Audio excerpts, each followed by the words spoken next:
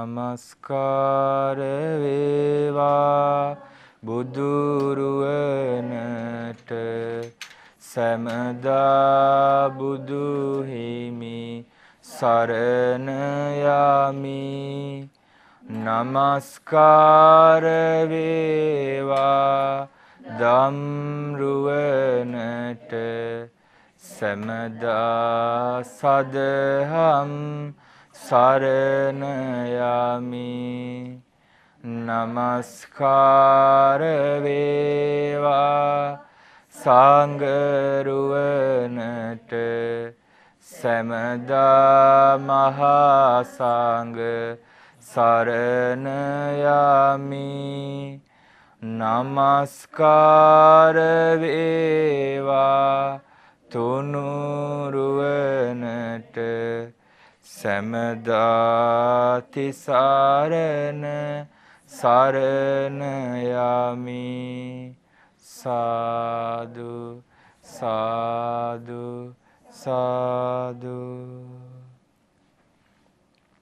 අපගේ ගෞතම බුදුරජාණන් වහන්සේගේ උතුම් ශාසනය ලංකාදරණී තලයේ පිහිටුවා වදාළ ඒ පරම පූජනීය අනුබුදු මිහිඳු මහරහතන් වහන්සේට අප සියලු දෙනාගේම নমස්කාරය වේවා. සාදු සාදු සාදු.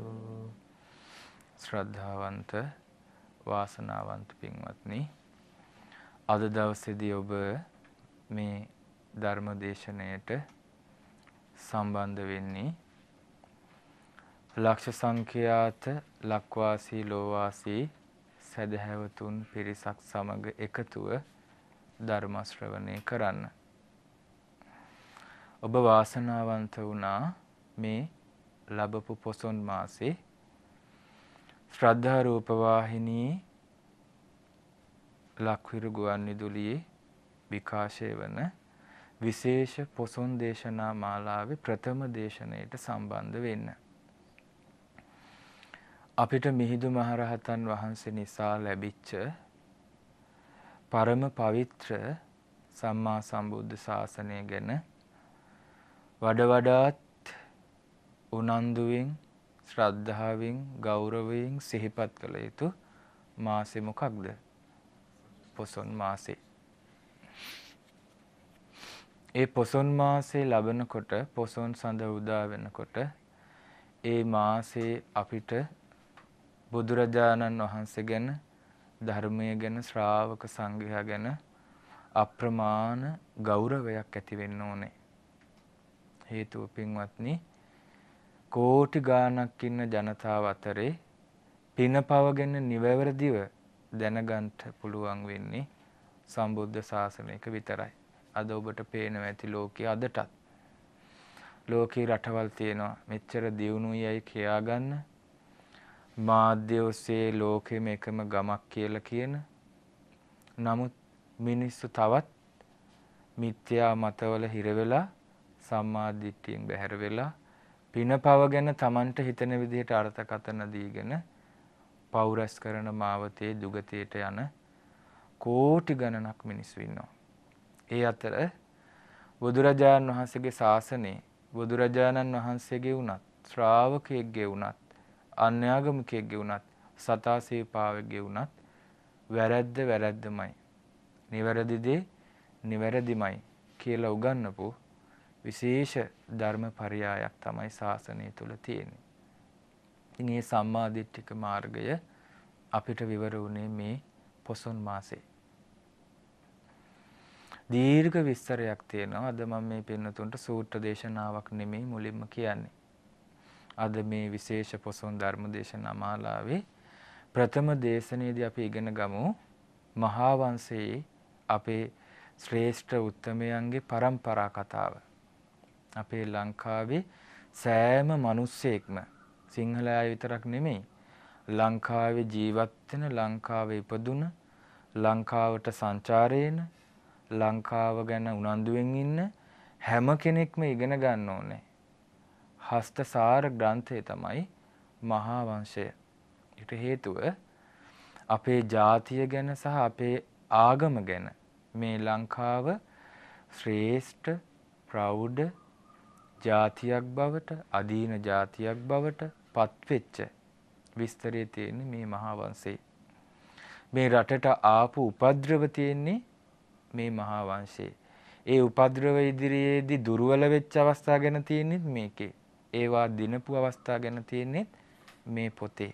ඒ නිසා මේ වංශ කතාව අපේ ආදි මුතුන් මිත්තන්ගේ ශ්‍රේෂ්ඨ උත්තමයන්ගේ પરම්පරා කතාවයි. මේ දේශනාවේ මේ පොත් වහන්සේගෙන් තමයි ධර්මාශෝක අධිරාජ්‍ය කවුද කියලා ඉන්දියානු වැසියන් හොයාගත්තේ.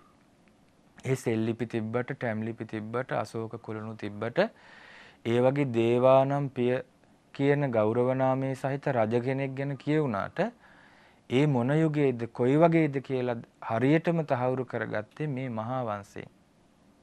ඒ වගේම අපේ රටේ අට කතා ග්‍රන්ථවලින් සිංහල අක්ෂර වලින් ලියපු pāli භාෂාවෙන් තියෙන ග්‍රන්ථවලින් තමයි ඒක නිවැරදිතාවය ඔප්පු කරගත්තේ. නැත්නම් වෙන කිසිම රටක මේ විදිහේ දීර්ඝ ඉතිහාසයක් වසර 2500කට වැඩි අඛණ්ඩ ලිඛිත ඉතිහාසයක් හැටියට සඳහන් වෙලා නැහැ. ඒ නිසා අපි වාග්යවන්තයි අපිට ඊටා විශ්වසනීය ඉතිහාසයක් තියෙනවා. ඒ කියන්නේ ඊට කලින් ඉතිහාසයක් නොතිබ්බා නෙමෙයි. දැන් මේ මහා වංශය ආරම්භ වෙන්නේ බුදුරජාණන් වහන්සේ ලංකාවට වැඩපු කාලේ ඉඳලානේ. එතකොට ඊට කලින් මේ රටේ ජනාවාස තියෙන්නට පුළුවන්. ඒ පිළිබඳ පුරාවිද්‍යාත්මක සාධක හම්බෙනවා නම් ඒක හරි. නමුත් ඒ පුරාවිද්‍යාත්මක සාධක හමු වුණාය කියලා ඊට පස්සේ යුගය ගැන තියෙන මේ මහාවංශය වැරදි වෙනවද? නැහැ. ඒ කියන්නේ බුදුරජාණන් වහන්සේගේ ශාසනය අවුරුදු දැන් 2000 භාග්‍යතුන් සම්බුද්ධත්වයට පසුලා 2600 ගණනක් නේ දැන්. එතකොට භාග්‍යතුන් වහන්සේ පිරිනිවන් පාලා 2560 ගණනක් නේද? එතකොට 2560 ගණනක ඒ දීර්ඝ ඉතිහාසය තමයි ලියවිලා තියෙන්නේ විජය රජුරුව ලංකාවට එන්නේ බුදුරජාණන් වහන්සේ පිරිනිවන් පාවදාළ දවසේ. එතකොට ඊට කලින් භාග්‍යතුන් වහන්සේ ලංකාවට වැඩලා තියෙනවා ඊට වසර 80කට පෙර කාලය ඇතුළත. තුන් වතාවක් ලංකා දරණී තලයට වැඩිය නේද? එතකොට ඒ වඩින කාලේ තමයි යක්ෂයන් පිළිබඳ, නාගයන් පිළිබඳ, දෙවියන් පිළිබඳ තියෙන මනුෂ්‍ය වාසයක් ගැන සඳහන් නොවෙන්නේ. නේද? ඊට කලින් මනුෂ්‍ය වාස ලංකාවේ තිබිලා තියෙනවා. කලින් බුද්ධ ශාසනවල සම්මා සම්බුදුරජාන් වහන්සේලාත් වැඩලා තියෙනවා. ශ්‍රාවකයොත් වැඩලා තියෙනවා. මහා බෝධීන් වහන්සේත් පිහිටලා තියෙනවා. සරුවඥ ධාතු, පාරිභෝගික ධාතුත් පිහිටලා තියෙනවා. එතකොට වසර ලක්ෂ ගණනින්, කෝටි ගණනින් ඈතට දිව යන ඉතිහාසයක් ලංකාවට තිබෙනවා. මේ වංශ කතා අනුව. ඉතින් අපි අද දීර්ඝ විස්තරයක් තියෙන නිසා කාල වේලාව අනුව කෙටියෙන් ඉගෙන ගනිමු පින්වත්නි. මිහිඳු මහරහතන් වහන්සේ අපේ රටේ ශාස්ත්‍රූ සදෘශව ඒ කියන්නේ ශාස්ත්‍රූන් වහන්සේ නමක් හා සමානව අපිට යහපත උදා කරපු විදිහ. ධර්මාශෝක අධිරාජ්‍යයා 84000ක් වෙහෙර විහාර හදලා පූජා කරන දවසේ ලෝක විවරණ ප්‍රාතිහාර්ය පවත්වා වදාළ මොග්ගලී පුත්ත තිස්ස මහරහතන් වහන්සේ. ඒ කියන්නේ ඒකට ලෝක විවරණ කියලා කියන්නේ ඇයි මේ මුළු විහාර ඔක්කොම එක විට පේන සැලැස්සුව රජතුමාට. ඒ චෛත්‍ය 84000 කොත් පැලඳවීම එක විට පේනවා චිත්‍රයක් වගේ. එර්දි ප්‍රාතිහාරයෙන්. ඉතින් රජුරුව අතිශයින්ම පැහැදිලා කිව්වා ස්වාමීනි මේ විදිහට සම්බුද්ධ ශාසනයට පූජා පවත්වපු තවත් දායකයෝ අතීතේ හිටියද රජතුමනි බුද්ධ කාලෙවත් හිටියේ නෑ කිව්වා මේ තරම් අග්‍ර පූජාවන් පවත්වපු අනේ ස්වාමීනි ඒ කියන්නේ මට ශාසනේ මේ උරුමය ලැබුණා නේද මං ශාසන දායාදේ ලැබුවා නේද නැහැ රජතුමනි කිව්වා ශාසනයේ ඥාතියෙක් වෙන්න නම් ශාසනයේ දායාදේ ලැබපු ඥාතියෙක් වෙන්න නම් තමන්ගේ දරුවෙක් ශාසනයට පූජා කරන්න ඕනේ. ඥාතිත්වය ලැබෙන දැන් අදත් කියන්නේ නේද? පැවිදි වුණොත් ඒ පවුල ශාසනේ ඥාතීන් බවට පත් වෙනවා කියලා මේ වංශ කතාවෙන් තමයි එන්නේ විස්තරේ. ඊට පස්සේ රජතුමා ඒ වෙනකොට පැවිදි වෙලා හිටියා යුව රජතුමා. යුව රජතුමා පැවිදි වෙච්ච දවසේ ඉඳලා මිහිඳු කුමාරයා පැවිදි වෙන්න ආසාවෙන් හිටියේ.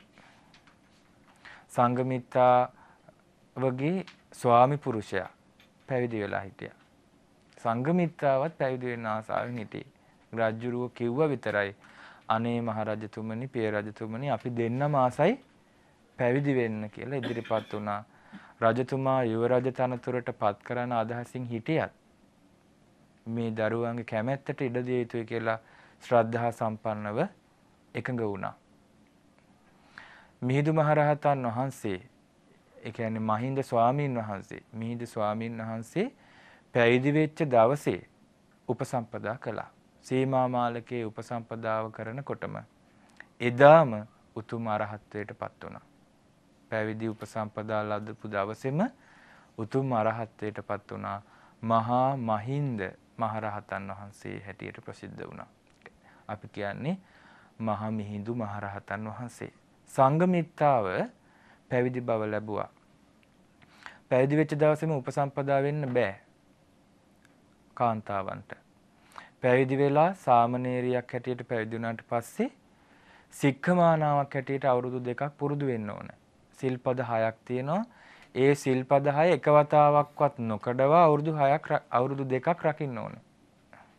අවුරුදු මට මතක හිටියට අවුරුදු දෙකක්.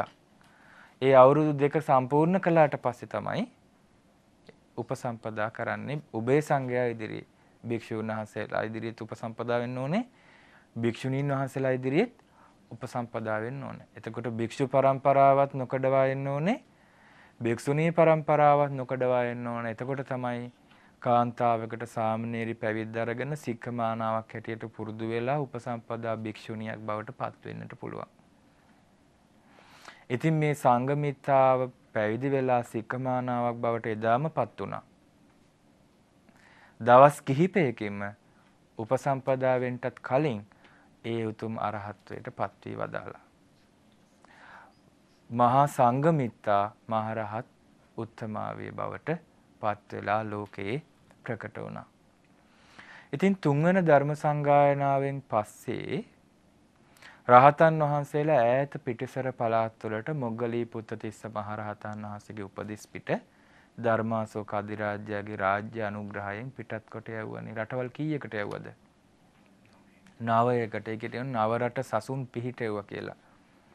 රටවල් නවයකට යවුවා. එතකොට ලංකාදීපයට එන්න තෝරගත්තේ අපේ පිනකට රජතුමාගේ පුත්‍ර රත්නය. මොකද භාග්‍යතුන් වහන්සේ පිරිනිවන් මංචකේ ඉඳලා වදාලා කියලා මොග්ගලී පුත්තිස්ස මහරහතන් වහන්සේ රජුරවන්ට දැනුවත් කළා. රජතුමනි අපගේ භාග්‍යතුන් වහන්සේ වදාළ අනාගත සම්බුද්ධ ශාසනය නිර්මලව පිහිටන්නේ ලංකා ධරණී තලය කියලා. එතකොට වඩාම සුදුසු කෙනානේ එහෙනම් තෝරන්නේ නේ. ඉතින් ඒ නිසා මිහිඳු මහරහතන් වහන්සේ තමයි තේරුනේ ලංකාවට එන්න. ඉතින් ඒ කාලේ මුටසේව රජුරුව මහලුයි. දේවානම් පියතිස්ස රජුරුවන්ගේ පියාණන්. ඒ නිසා මේ ශාසනික ප්‍රබෝධය ඇති වෙන්න ඒකට අවශ්‍ය වටපිටාවක් තියෙන්න ඕනේ. ඒකට ප්‍රඥා සම්පන්න බවක් තියෙන්න ඕනේ නායකයන්ට, පාලකයන්ට. උනන්දුවක් ඇති වෙන්න ඕනේ. වීමංසන සීලී නුවණක් තියෙන්න ඕනේ. ඒ නිසා මුටසීව රජු කලුරිය කරලා දේවානම් පියතිස්ස රජතුමා රාජ්‍යයට පත් වෙනකන් මිහිඳු මහරහතන් වහන්සේ ලංකාවට වැඩියේ නැහැ. මිහිඳු මහරහතන් වහන්සේ පැවිදි වෙනකොට අවුරුදු 20යි වයස. සංඝමිත්තාවට අවුරුදු 18යි. එතකොට නව යෞවුන්වේ තමයි ශාසනයට ඇතුළත් උනේ. ඊට පස්සේ මේ මිහිඳු මහරහතන් වහන්සේ තෝරගත්ත ඒ කාලේ වෙනකොට කාත් එක්කද ලංකාවට වඩින්ට සුදුසු ඉට්ටිය උත්තිය සම්බල භද්දසාල කියන රහතන් වහන්සේලා හතර නමක් තෝරගත්තා. ෂඩ් අභිඥාලාභී මහා ඉරිදිමත් සුමන කියන සාමණේර ස්වාමීන් වහන්සේත් තෝරගත්තා. ඊට පස්සේ ඥාතීන්ට උපකාරී වෙන්න රජගහ නුවර හරහා දක්ඛිනාගිරි ජනපදයට වැඩියා. දැන් තාම ලංකාවේ පසුබිම හැදිලා නැහැ. ඒ නිසා රහතන් වහන්සේලා තෝරගෙන දක්ඛිනාගිරි ජනපදයට වැඩියා. ඉල් මාසේ ඉඳලා බක් මාසේ දක්වා. ඉල් මාසේ ඉඳලා බක් මාසේ දක්වා පයින් 6 මාසක් ගත වුණා ඒ චාරිකාවට දක්ඛිනාගිරියට වඩින්න. ඊට පස්සේ දැන් ওই සාංචිය තියෙන්නේ. අද සාංචිය තියෙන්නේ සාංචිය මිහිඳු මහරහතන් වහන්සේ වැඩ හිටපු පළාත විදිසාපුරේ ධර්මාශෝක අධිරාජ්‍යයේ එක්තරා බිසවක් විදිසා දේවි. එතකොට මේ මෑණියන් වූ දේවි කුමරියගේ නගරය වන වේදිසගිරියට වැඩම කළා. තමන්ගේ මෑණියන්ටත් පිහිට වෙන්න මොකද මිහිඳු මහරහතන් වහන්සේ දකින්න නැති සමහර විට ආයෙමට ලංකාවට ලංකාවට වැඩියට පස්සේ දඹදිව් තලයට ආයෙ වඩින්න වෙන්නේ නෑ කියලා. සංඝ පිරිස සහිත මිහිඳු මහරහතන් වහන්සේට ප්‍රනීත දාණයෙන් දේවී කුමරිය දේවී බිසව උපස්ථාන කළා මව් බිසව. වේදිසගිරි විහාරයේ පිහිටි පර්වතයේ තමයි වැඩ සිටියේ මිහිඳු මහරහතන් පුදුම කියන්නේ පින්වත්නි ඔය මිහින්තලයේ තියෙන පරිසරයයි අදට ඒ සාංචියේ තියෙන පරිසරයයි සමානයි. ඒ අනුරාධපුරයේ මිහින්තලයේ කන්දර නැග්ගහම පේන පරිසරය ගල්, අඹගස්, බිම, අර බොරළු සහිත පස, වියලි කාලගුණ ඒ ඔක්කොම අදටත් මිහින්තලාවේ තියෙනවා. එතකොට ඒ ප්‍රදේශයේ නිකන් හුරු වෙලා ලංකාවට වැඩියා වගේ. ලංකාවෙත් ඊටම ගැළපෙන පළාත. ඒක පිළිබඳව වෙනම වැඩසටහනක් කරන්න වටිනවා. ඒ තරමටම සමානයි. ඊට පස්සේ මේ විදිහට වේදිසගිරියේ විදිසා දේවීන් වහන්සේට ධර්මයෙන් අනුග්‍රහ කරමින් මිහිඳු මහරහතන් වහන්සේ ඒ කාලේ තමයි දීප භාෂාව ඉගෙන ගත්ත කියලා. ලංකාවේ කතා කරපු භාෂාව හොඳට ඉගෙන ගත්තා. ඇයි නැත්තම් ධර්මය කියන්න පුළුවන්? ඇවිල්ලා පාලියෙන් කියන් කියන් යනවා. නමුත් තේරෙනවද? නෑ. පාලියෙන් කියලා දීප භාෂාවෙන් අර්ථ පැහැදිලි කරලා දුන්නා. ඊට පස්සේ මේ විදිහට විදිසා බිසවට ධර්මයෙන් අනුග්‍රහ දක්වලා අනාගතය පිළිබඳව හොඳට දන්න මිහිඳු මහරහතන් වහන්සේ හිතින් අදිෂ්ඨාන කළා මාගේ පිය රජුරුවන්ගේ මෙහෙයවීමෙන් සිදු කෙරෙන දෙවන අභිෂේකෝත්සවය දේවානම් පියතිස්ස මහරජ්ජුරුව අනුභව කරත්වා. පිය රජ්ජුරුවන් විසින් යවන දූතයන්ගෙන් තුනුරුවන්ගේ ගුණ අසා දැනගනිත්වා කියලා. එතකොට ඒ වෙනකොට පිය රජ්ජුරුව දූතය පිටත් කරලා යවලා. ඒ දෙවන පෑතිස් රජ්ජුරුවෝ පොසොන් පොහොය දවසේ ඒ කාලේ ශාසනය නෑනේ රටේ. මොකටද ගියේ? පොහොය දවසේ මුව දඩයමේ ගියා. කාන්තාවෝ ජල ක්‍රීඩාවට පිටත් වෙනවා. පිරිමි කැලේ යනවා සත්තු මරන්න. මේක අදටත් බටහිර රටවල තියෙනවා. දැන් සත්තු වැඩි වෙනකොට රජෙන් ලයිසන් දෙනවා. සත්තු මරන්න එතකොට තරුණ ළමයි තාත්තලා පුතාලා මොකද කරන්නේ? තුවක්කු අරගෙන සත්තු මරන්න යනවා. ඔවුන්ට තාම ඒ නුසුදුසු ගති අතහැර ගන්න බෑ. ඒ ශාසනය පිහිටියේ නෑ ඒ රටවල. ඒකට අපේ රටෙත් ශාසනය පිහිටන්න කලින් ඒ විදිහේ ක්‍රමයක් තිබ්බා. හැබැයි ඒක තුලත් යම්කිසි ගුණයක් තිබ්බා. ඒ කියන්නේ කන බොන සතෙකුට විද්‍ය නැහැ. දේවානම්පිය තිස්ස එතකොට තිස්ස රජතුමා තිස්ස රජතුමා දැන් මිස්සක මිස්සක කියන්නේ ගල් බොරළු කළු ගල් ඔක්කොම මිශ්‍ර වෙලා හැදිච්ච පර්වතයක්. ඒ වගේනේ මිහින්තලේ කන්ද නේද? ගලුත් තියෙනවා, බොරළුත් තියෙනවා, පසුත් තියෙනවා, ගසුත් තියෙනවා නේද? අනේ මිස්සක පව්වට දැන් මිහිඳු මහරහතන් වහන්සේ ඔක්කොම අදිෂ්ඨාන කරනවා ඉතින් මේ විදිහට වෙත්වා කියලා. දෙවන පෑතිස් රජු ලබන පොසොන් පොහොය දවසේ මිස්සක නැමැති පර්වතයට නගීවා. ඒ දවසේම අපි උත්තම ලංකාදීපයට යන්න ඕනේ කියලා මිහිඳු මහරහතන් වහන්සේ අදිෂ්ඨාන කළා. මහා ඉන්ද්‍ර කියලා හඳුන්වපු සක්දෙව් රජු මිහිඳු මහරහතන් වහන්සේ වෙත පැමිණියා. සම්බුදු සසුන කෙරෙහි පහදවන්ට ලංකාවට වඩින්න ස්වාමීනි අපගේ සම්බුදු රජාණන් වහන්සේ ලංකාවෙහි බුදු සසුන ඔබ වහන්සේ විසින් පිහිටුවන බවට පිරිනිවන් පාන අවස්ථාවේ අපට වදාලා කියලා සක්‍ර දෙවියෝ කිව්වා. මිහිඳු මහ රහතන් වහන්සේට ඇවිල්ලා එතකොට අපිත් ලක්දිව බුදු සසුනට පහදවන්ට සම් පැහැදවීමට ජනතාව අපිත් ඔබ වහන්සේලාට උපකාරී වෙන්න. ඒකට දෙවියන්ගේ ආරාධනයෙන් තමයි මිහිඳු මහරහතන් වහන්සේ ලංකාවට. එතකොට අපි කෘතගුණ සලකන්න ඕනේ හරිනම් සක් දෙවියන්ට. නේද? දැන් අපි කෘතගුණ සලකන්නේ මේ භූමාටු දෙවියන්ටනේ. නමුත් සක්‍ර දෙවියෝ තමයි ඔය අපි නම් කිය කියා ලංකාවේ පුදන කවුරුත් නෙමෙයි ලංකාවට මිහිඳු මහරහතන් වහන්සේට වඩින්න කියලා ආරාධනා කළේ. ඔව්. සක්‍ර දේවේන්ද්‍රයා.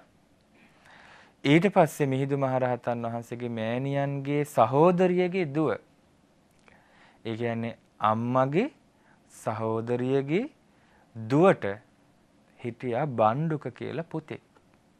එයාගේ නම බණ්ඩුක. ඉතින් මිහිඳු මහරහතන් වහන්සේ ඒ දේවී මව් කුමාරිට වද ධර්මය කියලා දෙනකොට මේ බණ්ඩුක කුමාරයා ඒක අහන් හිටියා. මුණුබුරා අහන් හිටියා. චූටි පුතෙක්. අහන් ඉඳලා අනාගාමී ඵලයටපත් වුණා. මහා ප්‍රඥාවන්තයි. දැන් බණ්ඩුක උපාසක කියලා සමහර පන්සල් වල අපි දැකලා තියෙනවා අඹලා තියෙන වයසක කෙනෙක්. ඇයි උපාසක කියපුවාම හිතන්නේ වයසයි කියලානේ. නේද? දැන් ඉත්තිය, උත්තිය, සම්බල, බද්දසාල, සුමන සාමණේර. සුමන සාමණේර කියද්දි පොඩියට අඹනවා. හැබැයි ඒක හැබැයි වයසද සාමණේර ස්වාමීන් වහන්සේලා ඉන්න පුළුවන් වයසට ගියත්. උපසම්පදා වෙලා නැත්නම් සාමණේර.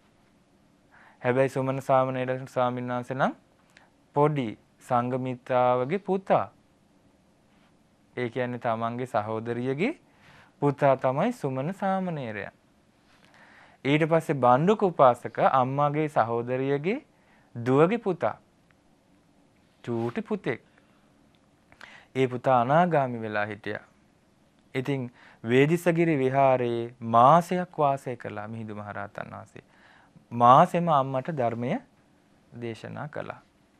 පොසොන්පුර පසළොස්වක් පොහෝ දවසක අපගේ මිහිඳු මහරහතන් වහන්සේ තම ශිෂ්‍ය භික්ෂූන් වහන්සේලා වන රහතන් වහන්සේලා සතර නමත් සුමන නැමැති සාමණේර රහතන් වහන්සේත් කියන සංඝ පිරිසයි අනාගාමී බණ්ඩුක උපාසකත් එක්ක මහා 이르දි බලය පාවිච්චි කරමින් වේදිසගිරි විහාරයෙන් අහසට පැන නැංගා.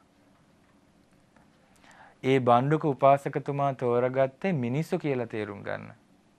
ඇයි දැන් කහවත් පොරෝගෙන කෙස් රැවුල් බාලා ලංකාවේ එහෙම අය දැකලා නැහෙනි. එතකොට හිතන්න පුළුවන් මේ පිටසක්වලකින් ආවවද්ද? අමනුෂ්‍යයෝද කියලා. එතකොට අර පුත් කුමාරයෙක් හිටියට පස්සේ පුංචි දරුවෙක්නේ. එතකොට දැනගන්නවා ආ මේගොල්ලෝ මිනිස්සුයි කියලා. කනේනේව ඉදහගම්ම රම්මේ මිස්සක පබ්බතේ ක්ෂණයකින්ම රම්‍ය වූ මිස්සක පර්වතයට වැඩියා. අට්ඨාසී පීලු කූටම්මි රුචිරම්බත් තලේ වරේ සොඳුරු අම්බස්තලේ උත්තම වූ සොඳුරු වූ අම්බස්තලේ පර්වත මස්තකයේ මිහිඳු මහරහතන් වහන්සේ රහතන් වහන්සේලයි වැඩ හිටියා. ලංකා පසාදන ගුණේන ව්‍යාකතෝසෝ ලස්සන ගාථාවලින් මේ තියෙන්නේ. ලංකා හිතාය මුනිනා සයිතේන අන්තේ ලංකාය සත්තු සදිසෝ හිත හේතු තස්සා ලංකා මරුහි මහිතෝ බිනිසීදි තත්හාති ලංකාව කෙරේ හිතානුකම්පිය හරි ලස්සනට අපේ ලොකු ස්වාමීන් වහන්සේ මේ සරල සිංහල මහා වංශේ පරිවර්තනය කරලා තියෙනවා. ලංකාව කෙරෙහි හිතානුකම්පී වූ අපගේ ශාක්‍ය මුනීන්ද්‍රයන් වහන්සේ විසින් පිරිනිවන් පාන අවස්ථාවේ පිරිනිවන් යහන මත සැතපී සිට ලංකා දීප ප්‍රසාදක ගුණයෙන් යුතු මිහිඳු මහරහතන් වහන්සේ ගැන වදාලා ලංකාවට ශාස්ත්‍රූන් වහන්සේ බඳු වූ අපගේ මිහිඳු මහරහතන් වහන්සේ ලංකාවැසි දෙවියන්ගෙන් පිදුම් ලබමින් එහි වැඩ වදාලා. දැන් සමහරු කියනවා අනුබුදු කියලා කියන්න හොඳ නෑලු. මිහිඳු මහරහතන් වහන්සේ. දැන් මේ මහා වංශෙමයි තියෙන්නේ ලංකාවේ සත්තු සදිසෝ. ලංකාවට ශාස්ත්‍රූන් වහන්සේ හා සමානයි. ගෞරව කළ යුතු තැනට ගෞරව කරන්න ඕන නේද? මේ ආප භාග්‍යතුන් වහන්සේ පිරිනිවන් පා 236 වෙනි වර්ෂයයි. බලන්න හරියටම අවුරුද්දත් එක්කම තියෙනවානේ. පිරිනිවන් පාලා අවුරුදු 236යි. එතකොට මාස 3කින් ප්‍රථම ධර්ම සංගායනාව පැවැත්තුවා. ඊළඟට අවුරුදු 100ක් ගිය තැන දෙවන ධර්ම සංගායනාව පැවැත්තුවා. ඊට පස්සේ තුන්වෙනි ධර්ම සංගායනාව පවත්වලා පරිණිරවාණයෙන් අවුරුදු 236 වෙන්නේ මිහිඳු මහරහතන් වහන්සේ ධර්ම දූත රහතන් වහන්සේලා සමගින් ලංකාවේ මිස්සක පවුවට වැඩම කළා. පින්වත්නි අපි මේ පොසොන් පොහොය එළඹෙනකොට ඒ මිහින්තලේ පැත්තට හැරිලා වන්දනා කරන්න ඕනේ. අපි පුළුවන් නම් යන්න ඕනේ. හැම නිවසකම මිහිඳු මහරහතන් වහන්සේ උදෙසා පහන් පත්තු කරන්න ඕනේ. පූජාවන් පවත්වන්න ඕනේ. අපෙන් ඒවා දැන් ගිලිහිලා. නේද? දැන් පොසොන් පොය කානිවල් පොයක් වෙලා. කතුරුවන්චිල්ලයි මෙරිගෝරවුනුයි මාරකලින්දයි තියෙන්නේ. ඉතින් දැන් ඒකට අවුරුදු 200ක් විතර ගිහිල්ලා නේ 200ක්ද දන්නෙත් නෑ. අපි පුංචි කාලේ ඉඳලා තියෙනවා. ඔබ පුංචි කාලේ ඉඳලා තියෙනව නේද ඒවා? ඒ කියන්නේ අවුරුදු දැන් 60ක විතර ඉඳලා තියෙනවා. ඊට ඊට කලින් ඕවා ඇවිල්ලා තියෙන්නේ මට හිතෙන්නේ 50 ගණන් වලට කිට්ටු 40 ගණන් වල වගේ තමයි ඔය කතුරුවන්චිල්ලා මාරකලින් එන්නේ ඇත්තේ. නේද? එතකොට ඒ කාලේ ඉඳලම ඔන්න දැන් ඒක ඒ වගේ විනෝද වෙන දේවල් තියෙන්න ඕනේ. ඒක තියෙන්න ඕනේ වෙනම කාලයකටනේ. දැන් මේ කාලේ පටලගෙන සාමාන්‍යයෙන් අවුරුද්දකට සැරයක් විනෝද වෙන උත්සවයක් ගිහි උදවියට ගැලපෙනවා. පුංචි දරුවන්ට ගැලපෙනවා. පුංචි දරුවෝ එක ගිහිල්ලා විනෝද වෙන්න ඕනේ. නමුත් මේ අනුබුදු මිහිඳු මහරහතන් වහන්සේ සමරන්ට ලෝකෙට වැදගත් දවසක් නෙමේ පොසොන් පෝය. ලංකාවේ අපිට ලංකාවේ සිංහල බෞද්ධයන්ට වැදගත් දවස පොසොන් පෝය. ඒ වගේ දවසක අපි ගිහිල්ලා කතුරුවන්චිල්ලාවල ළමයි කරකවනවා නම් මෙරිගෝරවුන් වල ළමයි කැරකෙව්වොත් එහෙම්ම කැරකිලා යයි සතර පායට ඒ රවුමෙම. ඇයි හේතුව? ගරු කළ යුතු දිනයකට ගරු කරලා නෑ ඒ කාලේ මිහිඳු මහරහතන් වහන්සේ ගැන කියන්න එපා. දැන් අපිට පුංචි කාලේ අපි දහම් පාසල් වල මිහිඳු මහරහතන් වහන්සේ ගැන ඔය අඹ පැණයයි ඥාති පැණයයි ඔය ටික ඉගෙනගෙන තියෙනවා. නමුත් එතනින් එහාට මේ මහා වංශෙ මෙහෙම තියෙනවා අය. මේ විදිහට මේ බණ්ඩුක උපාසක කියන්නේ අවුරුදු 7ක මේ රහත් අනාගාමී උපාසකතුමෙක්ය. අපිට ගන්නලා තියෙනවද? ඊට පස්සේ මේ විදිහට එන්න කලින් විදිසාවට ගිහිල්ලා මාසයක් වැඩ හිටියාය. ඊට පස්සේ මිහිඳු මහරහතන් වහන්සේට සක්‍ර දෙවියෝ ඇවිල්ලා ආරාධනා කළාය. ඒවා සමහර විට අදහන්නේ ඔබ. නේද? ඒ නිසා පින්වත්නි මේ ශ්‍රේෂ්ඨ උත්තමයන්ගේ પરම්පරා මහා වංශය මේ පොසොන් මාසේ සෑම කෙනෙක්ම කියවන්න ඕනේ. සෑම කෙනෙක්ම කියවන්න ඕනේ මහා වංශය. කියවලා මේ විශේෂයෙන් මේ අඩුමතරමේ මේ මිහිඳු මහරහතන් වහන්සේ ගැන තියෙන පරිච්ඡේද ටිකවත් කියවන ලොකු පොතක්නේ. හොයාගෙන කියවන්න. ඉතින් අපගේ දේවානම්පියතිස්ස රජුරුව එදා නගරවැසියන් ජල ක්‍රීඩාවට පිටත් කරලා මුවදඩේ මේ පිටත් වුණා රාජකීය පිරිසත් එක්ක 40000ක් මිනිසුන් පිරිවරාගෙන. එතකොට පුංචි රජෙක් නෙමෙයි. තිස්ස රජතුමා පුංචි රජෙක් නෙමෙයි 40000ක් පිරිවරාගෙන. එතකොට හොඳ යුද ශක්තියක් තිබිලා නැද්ද? 40000 ආයුධ අරන් නෙමෙයිද ගියේ. ඒ කාලේ ඉඳලා හොඳ යුද්ධ ශක්තියක් තිබ්බ ආරක්ෂිත රටක්. හැබැයි ක්‍රීඩාවට ගියේ මොකද සම්මාදිට්ඨිය තිබ්බේ නැහැ. ඔන්න මිස්සක පර්වතයට ගියා. දැන් මිහිඳු මහරහතන් වහන්සේ අදිෂ්ඨාන කළානේ තියෙන්නේ. පර්වතයට අධිග්‍රහිත දෙවියා රහතන් වහන්සේලාව රජුරවන්ට පෙන්වන්න ඕන නිසා ගෝනෙක්ගේ වෙස්ේ මවාගෙන තන පඳුරක් කමින් ඉන්න ආකාරය පෙන්වුවා. ඒට මුවාට වැඩිය ලොකුයි ගෝනනේ. හොඳ ගෝනෙක්. ගෝනෙක්ගේ වේසෙ මවාගෙන තන පඳුරක් කනවා මිස්සක පර්වතයට අධිග්‍රහිත දෙවියෝ වන්න මිහින්තලේ ගියෝ මතක තියාගන්න. මිස්සක පවුවට අධිග්‍රහිත දෙවියා අදටත් ඉන්න පුළුවන්. සමහරට පිරිනුවම් පාලාද දන්නෙත් නැහැ. නමුත් අදටත් ඉන්න පුළුවන් පින් අනුමෝදන් කරන්න. රාජා දිස්වා පමත්තං තන්න යුත්තං විජ්ජිතුන් ඉති ගොදුරු කන නිසා වටපිට බලන්ට ප්‍රමාද වී සිටින සතාට ඊතලයෙන් විඳින එක සුදුසු නෑ කියලා හිතලා අපගේ තිස්ස රජුරෝ දුන්නෙන් ලනුව ගස්සලා ශබ්ද කළා. එතකොට ධර්මය හම්බෙලා නැතත් පුංචි මනුස්ස ගුණධර්ම තිබ්බ අද එහෙමද? මේ කිරි දුන්න සතා මේ හාල හාල වැඩගත් සතා හිමීට මස් කඩේට දෙනවනේ. නේ? එතකොට ඒ විදිහේ කෙලෙහි ගුණයක් තිබ්බා. ඊට පස්සේ රජුරුව ගෝනා පස්සෙන් ලුහු බැන්දා දැන් ගෝන බය වෙලා දුවන. එතකොට ගෝනා රහතන් වහන්සේලා වැඩ සිටි තැනට දිව්වා. දැන් දෙවියනේ මේ. රජ්ජුරුවන්ට අපගේ රහතන් වහන්සේලා දකින්ට ලැබුණු ගමන් ගෝන නොපෙනී ගියා. ඒ කියන්නේ දෙවියා ආන්තරස් දහන වුණා. අපගේ මිහිඳු මහරහතන් වහන්සේ සිටුවේ බොහෝ දෙනෙක්ව එකවරම දකින්ට ලැබුණු රජුරුව බයටපත් වෙයි කියලා. ඒ නිසා තමන් වහන්සේව විතරක් පේන සැලැස්සුවා ඉරදී. හොඳටම බය වුණා. දැන් ඔය පොල් ගහවල මහමෙවුනා වසපුවේ අර ගලක් තියෙනවනේ මිහින්තලේ වගේම පුංචි ගලක්. ඕකේ මිහිඳු මහරහතන් වහන්සේගේ පිළිමයක් හැදුවා. ඊට පස්සේ දේවානම් පිතිස රජුරුවයි මෝ ගෝණයි හැදුවා. හදලා සමහරව ඇවිල්ලා බනිනවා. ඇයි අනිත් රහතන් වහන්සේලා නැත්තේ කියලා. එතකොට මම කිව්වා එහෙනම් කියන්න කියලා අර එර්දි ප්‍රාතිහාර්ය පාපු වෙලාවේ තමයි ඔය හදලා තියෙන්නේ කියලා. ඒ කියන්නේ ඇද හොයන්නමනේ මිනිස්සු බලන්නේ නේ. දැන් මිහින්තලේ යනකොට හරි සුළඟ නේද කන්ද උඩ. ඉතින් ඒක සිහිපත් වෙන්න ශිල්පීන් හදලා තියෙනවා සිවුර හුළඟට යනවා. සිවුර හුළඟට යනවා. ඒත් භාග්‍යතුන් වහන්සේගේ විතරයි සිවුර එහෙම හුළඟේ යන්නේ නැත්තේ. ඉතින් සිවුර හුළඟට යන අර ඇඟට ඇලිලා වගේ එක එක්තරා ශිල්පීය ක්‍රමයක්. දැන් ගාන්ධාර විදියට ප්‍රතිමා එක එක සම්ප්‍රදායන් තියෙනවනේ එක එක නමින් එක එක යුගයේ නේ දැන් බරණස ඉසිපතන මිගදාය තියෙන ප්‍රධාන පිළිම වහන්සේ නවමූල ගන්ධ කුටි විහාරයේ ඇඟට ඇලිච්ච සිවුර තියෙන්නේ. ඒක එක්තරා සම්ප්‍රදායක්. අරක දැකලා සමහරු බයිනවා. අගෞරව කළා. අපිට අගෞරව කරන්න ඕනේද නේද? ශාස්ත්‍රූන් වහන්සේ හා සමාන පරම පූජනීය මිහිඳු මහරහතන් වහන්සේට ගෞරවණ කරන්න ඕනනේ. ඉතින් ඒකේ අනිත් රහතන් වහන්සේලා ඒ ගල උඩ හදන්න ඉඩ නැහනේ. ඉතින් ඒක නෙමෙයි කියන්නේ අනිත් අය හදලා නැහැ මේ විකෘති කරන්න හදනවා කියලා. සමහරු පැහැදිය යුතු තැන අපැහැදිලා නොගැහැරිය යුතු තැන ගරහලා පවුරස් කරගන්න. ඉතින් මේ විදිහට අපේ මිහිඳු මහරහතන් වහන්සේව පේන්න සලස්සලා ඊට පස්සේ අන්න අපි දන්න ගාථාව රජුරුව හැබැයි බය වුණා. මොකද තිස්ස කියලා කතා කරානේ. ඔව්.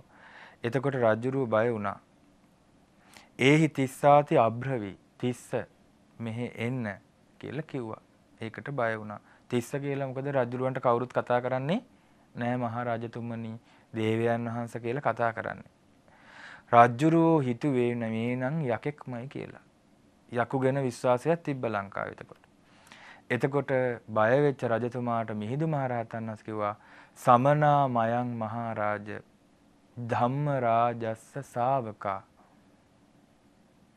ධම්ම රාජයන් වහන්සේගේ ශ්‍රාවක වූ ශ්‍රමණයෝ වෙමු මහරජතුමනි අපි මහරජතුමනි අපි ඒ ධර්ම රාජයන් වහන්සේගේ ශ්‍රාවක ශ්‍රමණයෝ තවේව අනුකම්පාය ඔබට අනුකම්පා පිණිස ජම්බු දීපා ඉදහගතා දඹදිවෙන් අපි මෙලොවට ආවා. ධම්ම රාජයන් වහන්සේගේ ශ්‍රාවකය වෙච්ච අපි දඹදිවින් ඔව් මෙහි ආවා කියලා කිව්වා. එහෙනම් හොඳට මතක තියාගන්න. දැන් සමහරු සමහරු මේ භෞතිකවාදී වර්තමාන මිත්‍යා දෘෂ්ටික අය අහසින් වැඩියාකින් දැන් Tamanට අහසින් යන්න බැයි නම් කාටවත් යන්න බෑ. එහෙම තමයි පිළිගන්න ඕනේ.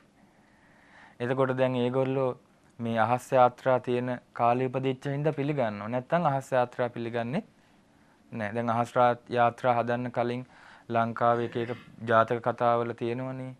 අතීත ලී වල කට්ට වාහන ජාතකයේ තියෙනවා ලී වලින් රථයක් හදාලා අහසින් ගියයි කියලා. ඕක පිළිගන්නේ නැහැ. ඕක අතීතයයි පිළිගන්නේ නැතුව ඇති. නමුත් දැන් පිළිගන්නවානේ. දැන් අපිට 이르දියෙන් යන්න බෑ කියලා මිහිඳු මහරහතන් වහන්සේ අහසින් වැඩියා කියලා පිළිගන්නේ දැන් රජගල සෙල්ලිපියක තියෙනවා මිහිඳු මහරහතන් වහන්සේ 이르දියෙන් වැඩියාය කියලා. ඒත් පිළිගන්න ඒකෙත් අර්ථ එයාලා වෙනම අර්ථයක් දෙනවා. ඒ කියන්නේ තමන්ගේ මතේම නිහතමානී නෑනේ. කියන්නේ තමන්ට ගුණයක් උපදවා ගන්න බැරි නම් අනිත් අයටත් බෑ. තමන්ට හැමෝ ගැනම රාගය තියෙනවා නම් අනිත් අයත් බ්‍රහ්මචාරී නෑ කියලා තමයි කියන්නේ. තමන්ට රැයට නොකා ඉන්න බැයි නම් හැමෝම රැයට කනවා කියලා තමයි කියන්නේ. ඇයි අනිත් අයගේ ගුණයක් අනුමෝදන් වෙන්නේ නෑ නිහතමානීකමක් නෑ. ඉතින් මිහිඳු මහරහතන් වහන්සේ වොන්න පස්සේ අපි කෙටියෙන් දැන් ඉගෙන ගනිමු. දැන් ඊට පස්සේ නුවණ විමසන්ට අඹ පැනයත් ඥාති පැනයත් විමසුවා රජ්ජුරුව ගැන හරි පැහැදුනා. මොකද ලස්සනයි මේ උත්තරේ නේද? ඇහුවනේ රජතුමනි මේ ගහ මොකක්ද? අඹ ගහක්. එතකොට මේ අඹ ගහ ඇර තවත් අඹ ගස් තියෙනවද? තියෙනවා. මේ අඹ ගසුත් ඒ අඹ ගසුත් ඇර තවත් ගස් තියෙනවද? අනේ ස්වාමිනී ඕන තරම් තියෙනවා. එතකොට ඒ අඹ ගසුත් ඒ අඹ නොවන ගසුත් හැර තවත් ගස් තියනවාද?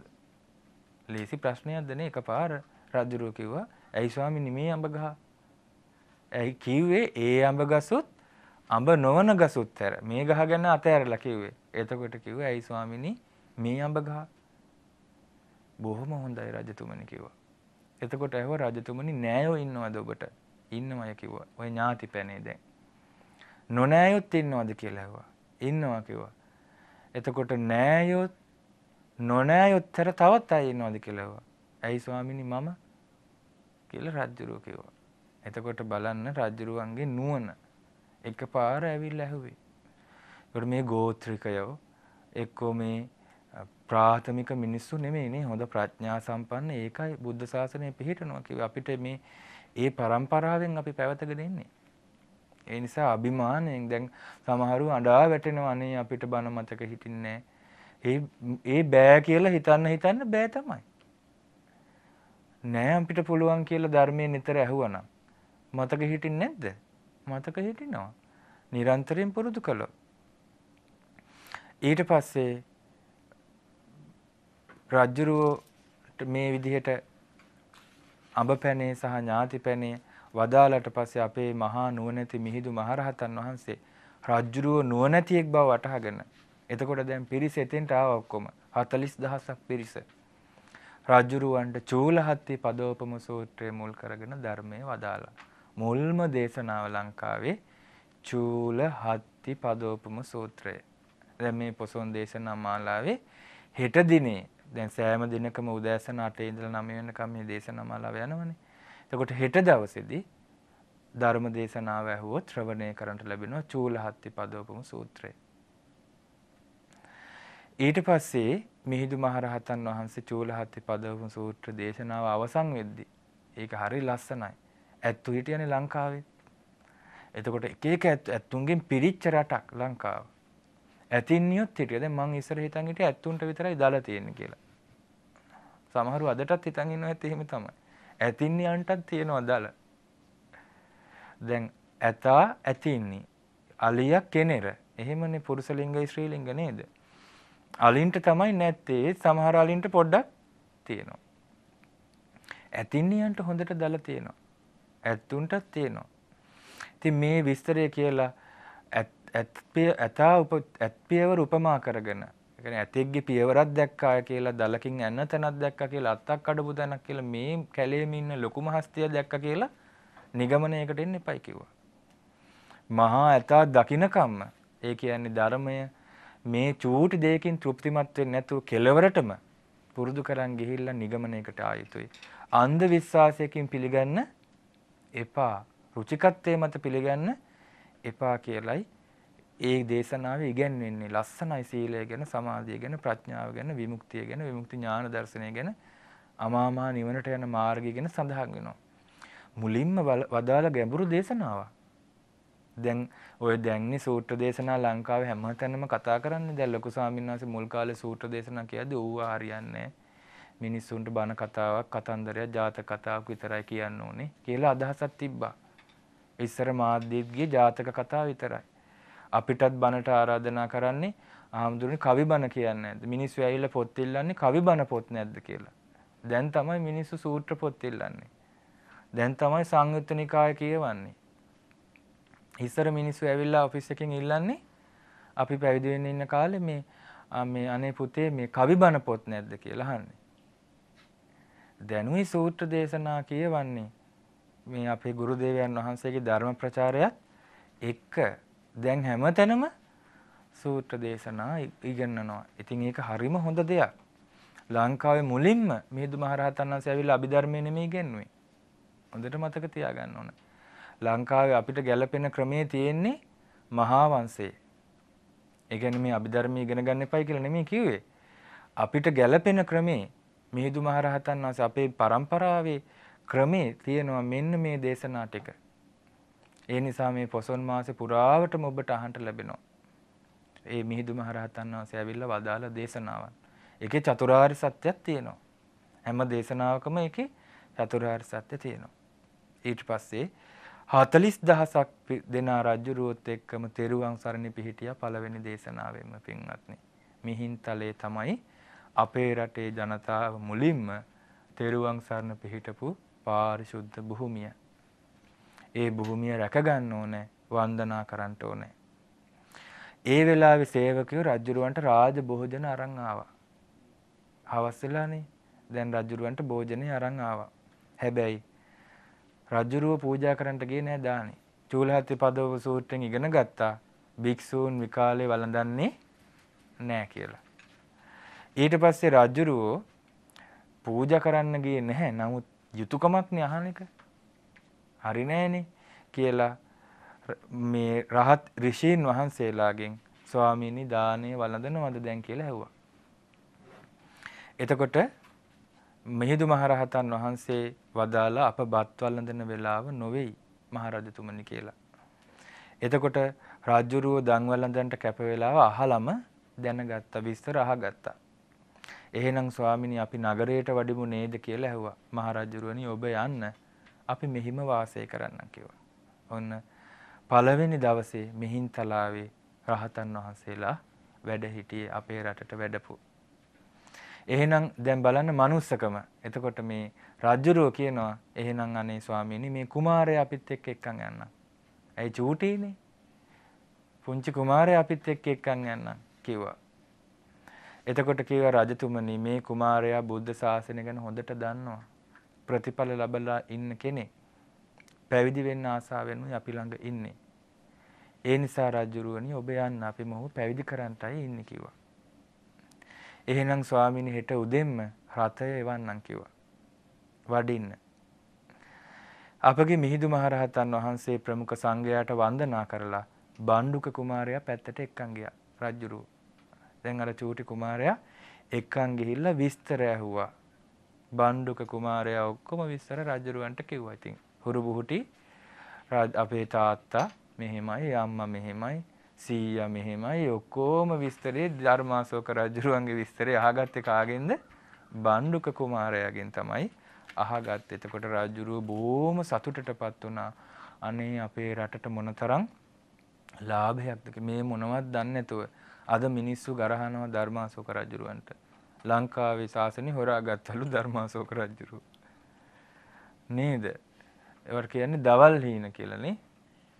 ඊට පස්සේ බණ්ඩුක කුමාරයාගේ තිබුණ ගිහි සලකුණු නිසා සැක සංකා නැතුව දැනගත්ත රජුරු මේ නම් මිනිස්සුම තමයි දැන් ධර්මයත් අහලා තෙරුවන් සරණත් ගිහිල්ලා ඒ ගම් සීමාවේදී ඒ සංඝ පිරිස අතරදිම බණ්ඩුක කුමාරයාට පැවිද්දත් උපසම්පදාවත් ලබා දුන්නා. මිහිඳු මහරහතන් වහන්සේ. පැවිදි වූ සැනින් බණ්ඩුක ස්වාමීන් වහන්සේ අරහත්ත්වයට පත් වුණා. එතකොට ලංකාවේ මුලින්ම අරහත්ත්වයට පත් උනේ දඹදිවෙන් වැඩපු බණ්ඩුක කුමාර බණ්ඩුක ස්වාමින් වහන්සේ. ඊට පස්සේ අපේ සුමන සාමණේර රහතන් වහන්සේට කතා කරලා මිහිඳු මහරහතන් වහන්සේ වදාලා ධම්ම සවන කාලං තුවං ഘോഷේ හීති අපුච්චිසෝ සාවෙන්තෝ කිත්තකං තහනං බන්තේ ഘോഷේ මහං ඉති එතකොට සුමන දැන් බණහන්ට කාලයයි ඒ දෙවියන්ට දැනුවත් කරන්න කිව්වා. කාල ගොහසා කරනවා කියලා එකට කියන්නේ. ඕක මෑතක් වෙනකම්ම තිබිලා තියෙනවා කාල ගොහසා කිරිල්ල. එතකොට දුටුගැමුණු රජුරුවන්ගේ කාලේ අනුරාධපුරයේ කාල ගෝසා කරන දානයක් දෙන්න ඕනේ වුණාම කැලේ ඈතට ඇහෙන්න කියනවා අනේ රහතන් වහන්සේලා වැඩ ඉන්නවා නම් දානය වළඳන්ට අවශ්‍ය මෙතෙන්ට වඩින්න කියලා. එතකොට 이르දිමත් රහතන් වහන්සේලා දිවකණින් අහලා එනවා. එහෙම දානි පූජා කරලා තියෙනවා. අපේ මහා ගැමුණු රජතුමා. කොයිතරම් ශ්‍රේෂ්ඨ ඉතිහාසයක්ද පින්වත්නි. ස්වාමිනි කොපමණ දුරක් දක්වා හඬ අස්සවන්න ඕනද කියලා ඇහුවා. දැන් මයික් නැහැ නේ කාලේ. හැබැයි 이르දි බලේ තිබ්බා. ෂඩ්ඩ අභිඥාලාභී රහතන් වහන්සේ නමක්. දුරට හඬ අස්සවන්න පුළුවන්. සකලං තම්බ පන්නීති උත්තේ තේරෙන ඉද්ධියා මුළු තම්බ පන්නියටම ඇහෙන්න මිහිඳු මහරහතන් වහන්සේ කාලඝෝෂා කරන්නට කිව්වා සුමන සාමණේරයන් වහන්සේට 이르දි බලයෙන් මුළු ලංකාවටම ඇහෙන්න කිව්වා ඒක තමයි ඔය අද අපි බණ කියන්ට කලින් කරන්නේ. මොකද්ද? ධම්මස්සවන කාලෝ අයම් බදන්තා කියන්නේ. භවත්නි මේ ධර්ම ශ්‍රවණයට කාලයයි කියලා කියනවා. එතකොට මහා පොළොව ලංකාවට මැහෙන්න කියනකොට ඕ පොළොවාසී දෙවියෝ ඒක අහනවා. අහලා ඒ දෙවිවරුත් කියනවා ධම්මස්සවන කාලෝ අයං බදන්තා කියලා. එතකොට චාතු මහරජික වැසි දෙවියෝ ඒක අහනවා. ඒගොල්ලොත් කියනවා ධම්මස්සවන කාලෝ අයං බදන්තා තාවතින්ස දෙවරු ඔහොම අකනිටා බඹලොවටම දහම් ගෝසාව පැතිරලා යනවා. දැක්ක නේද ක්‍රමේ? ඊට පස්සේ දැන් මේ හඬ ඇහුණා බටහිර පැත්තේ නාගපොකුණ අසල වාඩි වෙලා භෝජන වළඳමින් හිටපු රජ්ජුරුවන්ට දහම් කාල ගෝසා කරනවා. සුමන සාමණේරයන් වහන්සේ 이르දියෙන් කළ ගෝසාව ඇහිලා ඇමතිවරු එව්වා. මොකක්වත් කරදරයක්ද කියලා දැනගන්න. දැන් රජුරවන්ට හරි සෙනෙහසක් ඇති වෙලා. තමන්ගේ වගේ. ඊට පස්සේ කිව්ව නෑ නෑ මේ දෙවිවරුන්ට දැනුවත් කළා ධර්මය අහන්ට එන්න කියලා. ඊට පස්සේ මේ බ්‍රහ්ම ලෝකේ දක්වාම හඬ පැතිරිලා ගියා මහා දේව සමාගමක් රැස් වුණා. දෙව් පිරිසට අපගේ මිහිඳු මහරහතන් වහන්සේ අපගේ ධර්ම සේනාධිපති මහා සාරිපුත්ත මහරහතන් වහන්සේ වදාළ දෙසුමක් වන සමචිත්ත පරියාය සූත්‍රය මුල් කොට ධර්ම දේශනාව සිද්ධ කළා. ඒ සමචිත්ත පරියාය සූත්‍රයත් මේ පොසොන් මාසයේ ඔබට අහන්න ලැබෙනවා. හරි භාග්‍යයක්. අසංකේය ගණනක් දෙවිවරුන්ට ධර්ම අවබෝධය ඇති වුණා. දෙවිවරු මිනිසුන්ට වැඩිය බුද්ධිමත්නේ. දැන් මේ මහා වංශය පිළිගන්නෙත් නැහැ. විමානවත්තු පේතවත්තු පිළිගන්නෙත් නැහැ. මිනිස්සු කියනවා සමහරට ස්වාමීන් වහන්සේලා කියනවා දෙවියන්ට ධර්මය අවබෝධ කරන්න බැයිලු.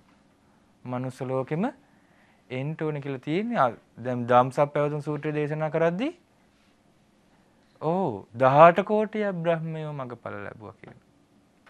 නේද? මනුස්ස ලෝකෙ එක්කෙනයි. දැන් අතන තියෙන්නේ තාම සෝවාන් වුන්නේ කවුරුත්. චූලහත්ති පදපම් සූත්‍රය අහලා 40000ක් පිරිස තෙරුවන් සරණ පිහිටියා. නමුත් සමචිත්ත පරයය සූත්‍රය දේශනා කරද්දී අසංකේයයක් අසංකේය ගණන් දෙවිවරු ගණනින් කියන්න බැරි තරම් දෙවිවරු ධම්මාභි සමයෝ අහු ධර්මය අවබෝධ කළා.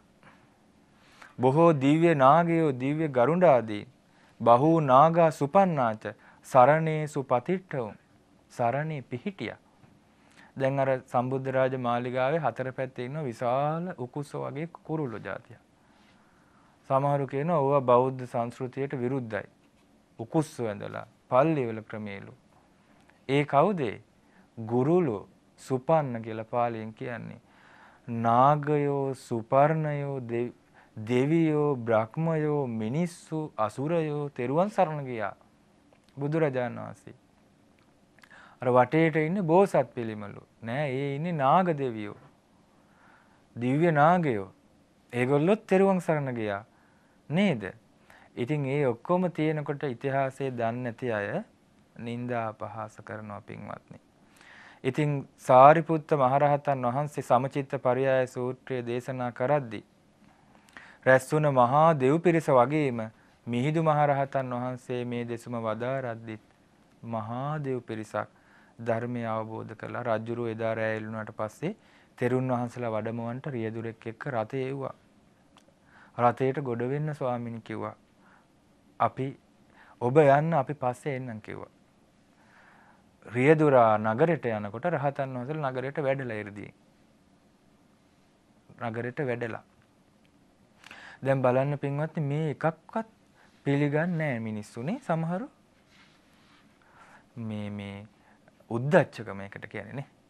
උද්දච්චකම කියන්නේ හිතට ගරගෙන ආඩම්බරින් දැන් මේ රටේ තව ආගම් තියෙන හැබැයි දැන් මුස්ලිම් ආගම තියෙනවා ක්‍රිස්තියානි ආගම තියෙනවා ඒ වගේ ඉතිහාසක ආගමික ග්‍රන්ථවලම විශ්වාස කරන්න බැරි කරුණු මොනතරම් තියෙනවද ඒ විදිහට බැලුවොත් නමුත් ඒවා ඒ මිනිස්සු ඔක්කොම විශ්වාස කරනවා අපේ අයත් කියනවා ඒවා ඒ මිනිස්සු පිළිගන්නවා ඉතින් ඒවට අපි ගෞරව කරන්න ඕනේ කියලා හැබැයි අපේ මේ රහතන් වහන්සේලා ඇවිල්ලා මේ ලිඛිතව මේ සඳහන් වෙලා પરම්පරාවෙන් ඇවිල්ලා දැන් ලේඛනාරූඪ වෙලා දැන් මේ තියෙන විස්තරේ පිළිගන්නේ නැහැ.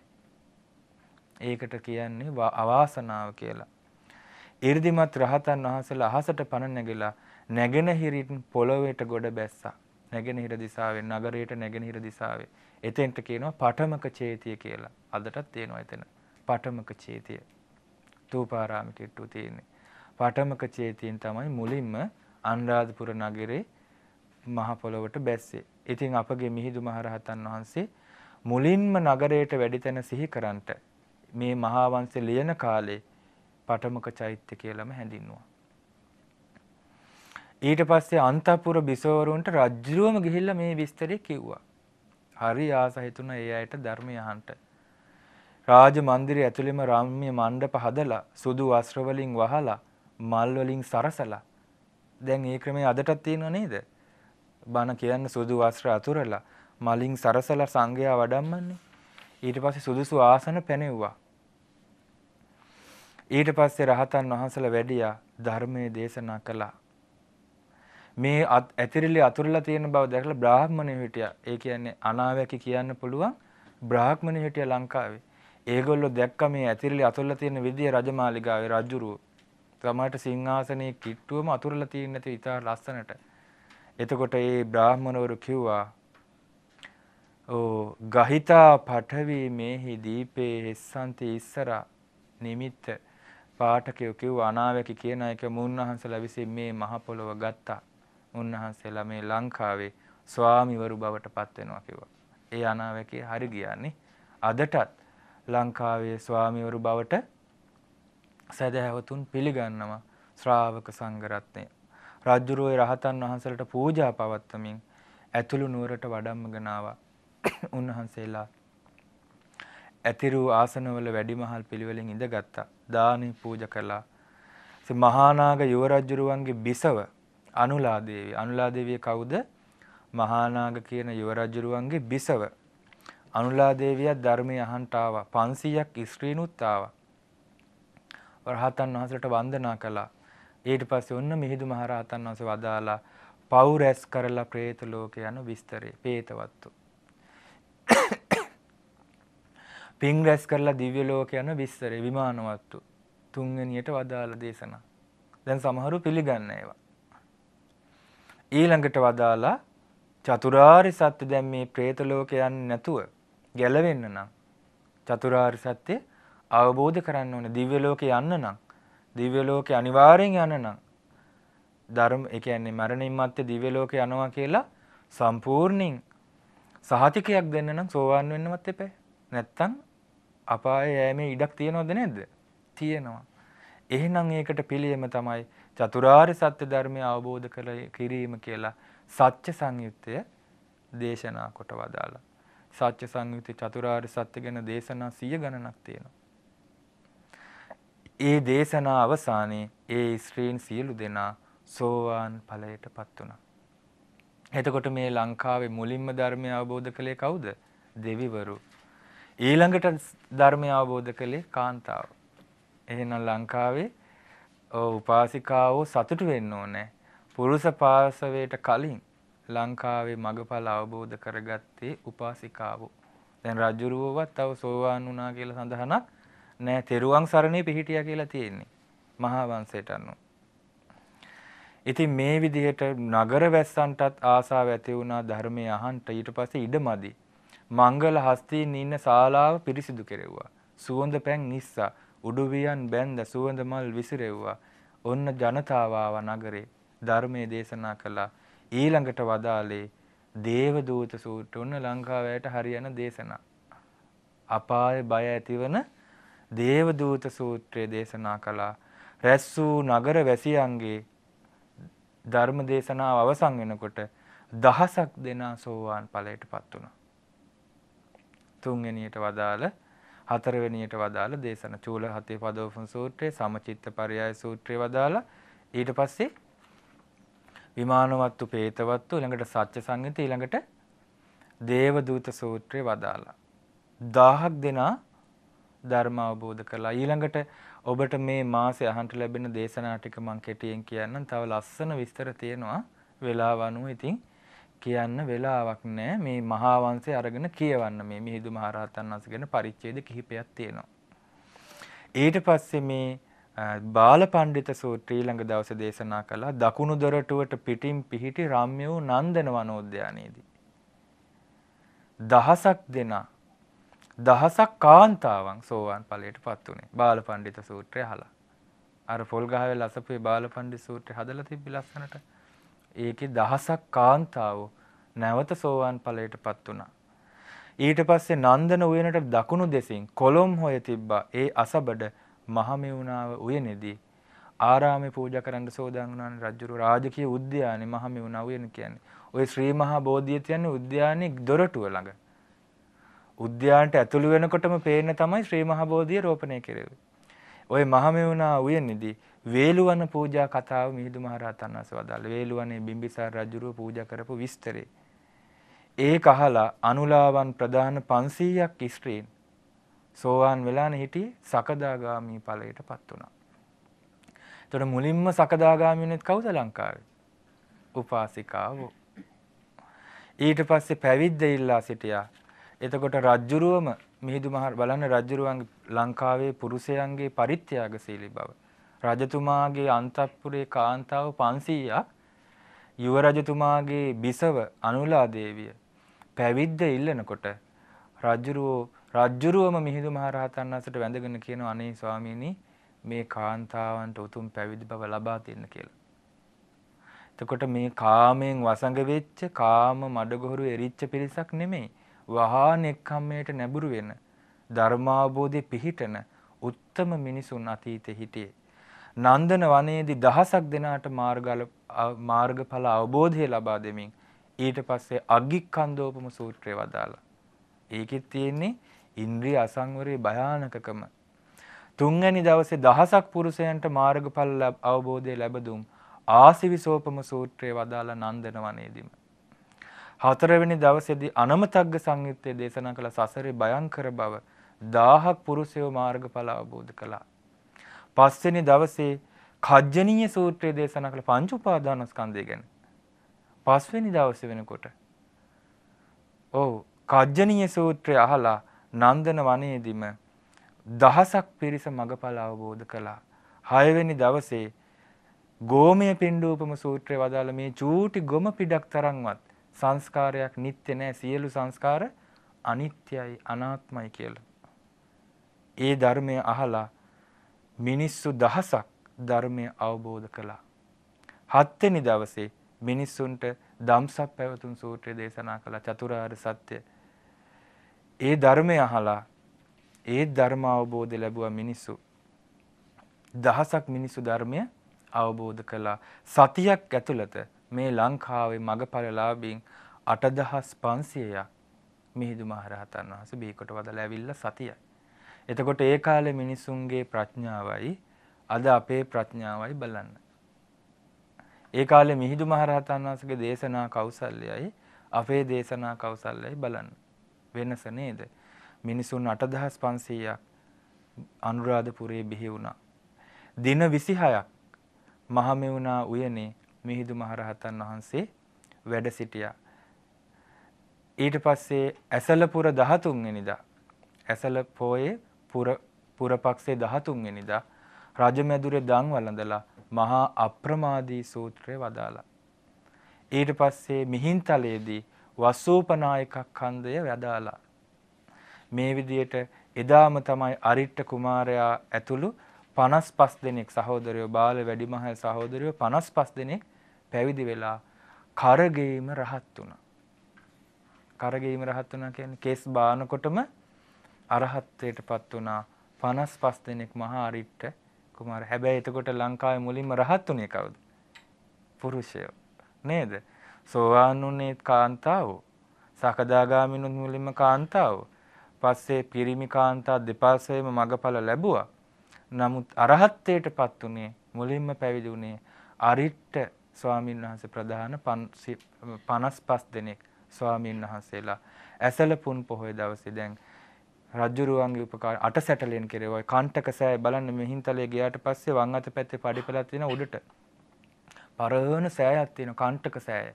ඒ වටේට ලෙන් 68ක් කළු ගලින් කරවලා දවස් කීපයක් ඇතුළත වස් සමාදන් වෙන්න පූජා කළා. අටසැටලෙන් පූජාව කියන්නේ.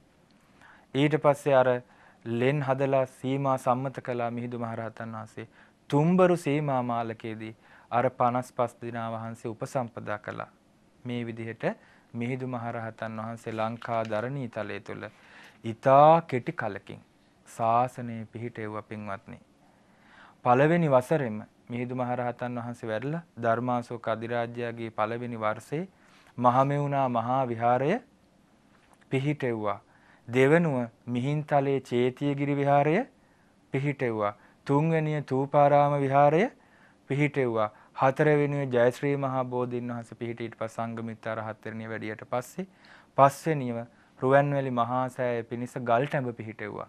අනාගතේ දුටුගැමුණු මහරජතුමාට හදන්න. හයවැනිව ඉසුරුමත් රාජ කුමාරවරු 500ක් පැවිදි වෙලා වාසය කරපු තැන ඉසුරු මුනිය. මුනිවරු ඉසුරුමත් මුනිවරු වැසූ තැන එතන පූජාව පැවැත්තුවා. ඊට පස්සේ හත්වැනිව තිසා වැව කෙරෙව්වා. රජතුමා අටවැනිව පටමක චේතිය තැනෙව්වා.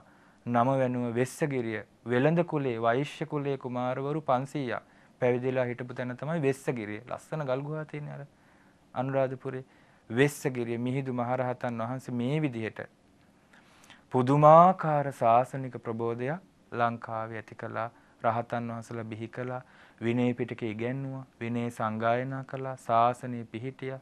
සර්වඥ ධාතුන් වහන්සේ ලබා දුන්නා. මහා බෝධීන් වහන්සේ ලබා දුන්නා. අප්‍රමාණ සේවාවක් කරලා නැවත ජම්බුද්දීපේටවත් නොවැඩ මිහිඳු මහරහතන් වහන්සේ මේ ලංකා දරණී තලයේම පිරිනිවන් පාවදාලා. ඒ නිසා ඒ අනුබුදු මිහිඳු මහරහතන් වහන්සේට පරම පූජනීය දීප ප්‍රසාදක මහා උත්තම රහතන් වහන්සේට ඒ වගේම පරම පූජනීය සංඝමිත්තා මහරහත් තෙරණියට අප හැම දෙනාගේම নমස්කාරය වේවා. සාදු ඒ වගේම ලංකාව තුල පහළ වී වදාළ අරිට්ඨ මහරහතන් වහන්සේ ප්‍රධාන අපට මේ ධර්ම දායාද කළ සියලු මහරහතන් වහන්සේලාට අපගේ নমස්කාරය වේවා. සාදු සාදු සාදු.